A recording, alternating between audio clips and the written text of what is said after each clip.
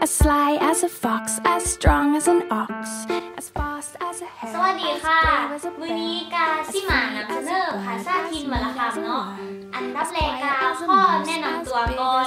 มีชื่อว่าลัชนา